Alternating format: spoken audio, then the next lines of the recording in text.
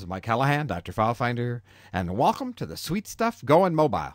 This week I'm going to begin a two part series on 10 free must have Blackberry applications.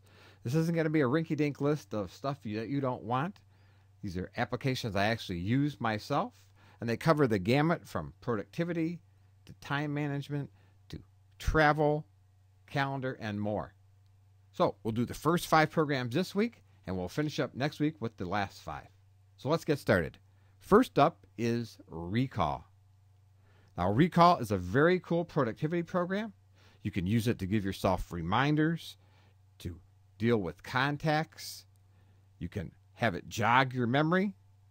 It's available from a web interface where you can manage your account, and you can call in things to recall from a toll free number from your phone.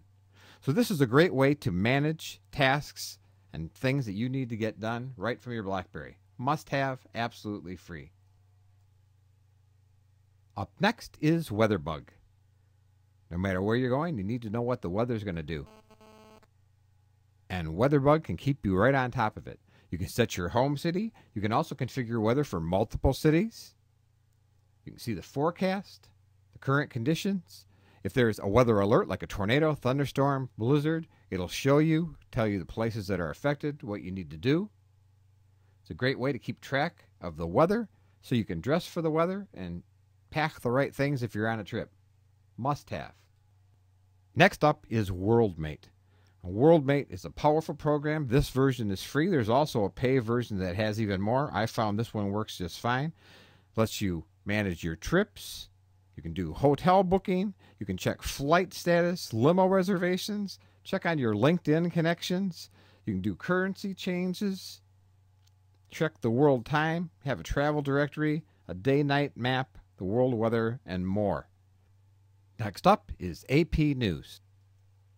When you're on the move, you still need to keep up with what's going on. With AP News is a trusted source. You can get top headlines, top news, photos, recent happenings. You can get local news for your area.